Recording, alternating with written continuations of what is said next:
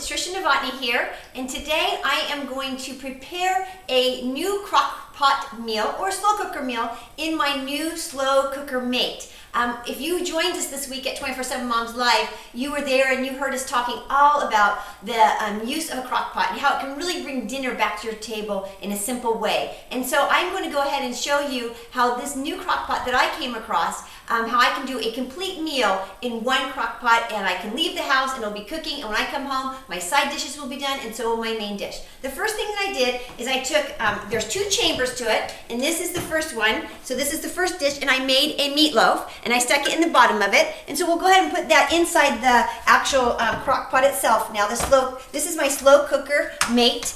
And then the next thing I'm going to do is I am going to make the two side dishes. And the two side dishes are gonna go inside of this pan. And this pan has two compartments, as you can see. And one, I've already put my frozen green beans in. So all I did was buy a package of frozen green beans from the grocery store, on sale, ladies threw it inside of here, and then I'm going to go ahead and add a little butter on top of it, and you can add salt and pepper, whatever you like seasoning, but we're just gonna add a couple little um, slices of butter on top of it, so that when it's cooking, it melts into it and kind of seasons it a little bit. I know a lot of butter, but we like a lot of butter in our house.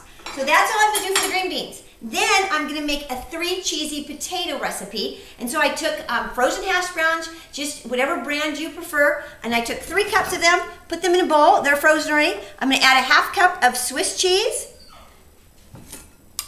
a half cup of cheddar cheese, and then I'm going to add a jar of um, cheesy um, Alfredo sauce, and I just use the store, you know, somebody bought the store. And so I'm gonna use uh, one 10 ounce can jar of this, and I'm gonna mix it in. And then I'll just kind of push that down just a little bit so it cooks a little bit in there.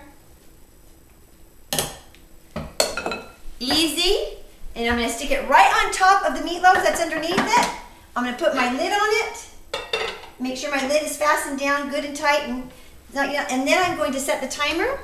And this has a digital timer, which is wonderful because it actually, I think, goes up like to 18 or 19 hours. And I can put it, I'm gonna put this on for six hours and I'm gonna choose my temperature, which is wonderful. And I'm gonna choose low and off we go. And ladies, we'll let you know later on tonight when the Novotnys eat their meal how it tastes. Thanks for joining me at 24-7 Moms.